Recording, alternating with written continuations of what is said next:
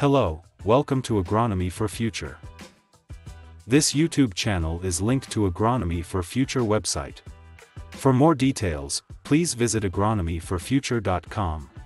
Thank you. Hello, welcome to Agronomy for Future.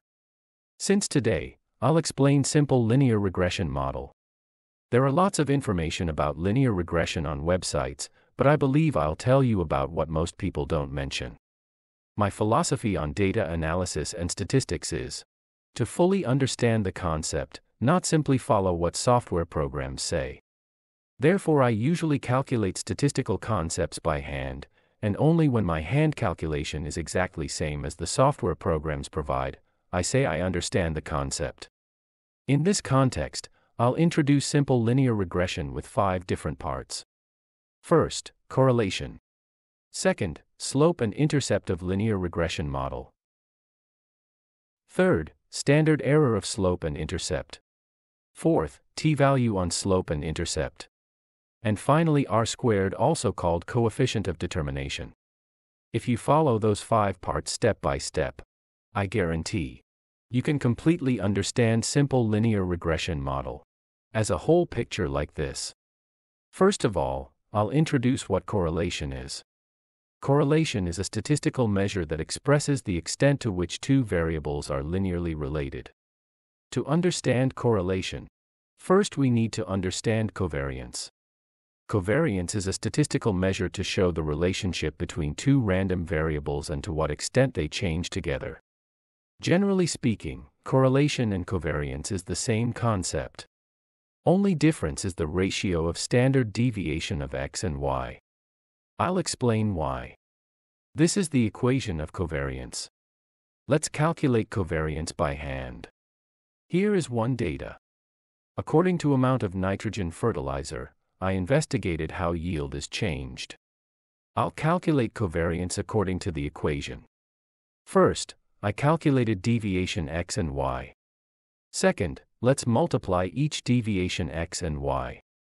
Third, let's add up all values. Finally, if the sum of all values is divided by n minus 1, where n is sample size, it's covariance. What does this 375 indicate? Do you think if this value is bigger, it would be good to explain the relationship between two variables? Let's draw each deviation x and y in the quadrant.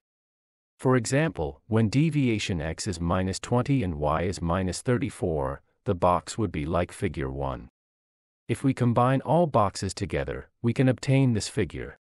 All boxes are located at second and fourth quadrant. What does it indicate? It indicates that there is a positive relationship between two variables. To determine whether it's positive or negative relationship, do you think the box size important? No, it's not. The important thing is where the boxes are located. Therefore, covariance value 375 itself would not be the main issue, but whether the value is positive or negative would be the main issue. This is equation of correlation. When we usually talk about correlation, it's about Pearson's correlation coefficient. Pearson's correlation coefficient basically measures the strength of the linear association between two quantitative variables x and y. I told you before that correlation and covariance is the same concept. Only difference is the ratio of standard deviation of x and y.